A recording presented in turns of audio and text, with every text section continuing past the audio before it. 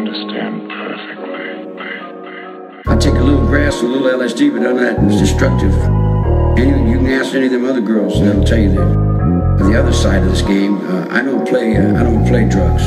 I play. I play light, light, you know, light, dibby dabby, chippy, but I don't really get down heavy with it. I said, if you're gonna do something, leave something with you. Just like I would tell you, if you're gonna do something, do it well, with you.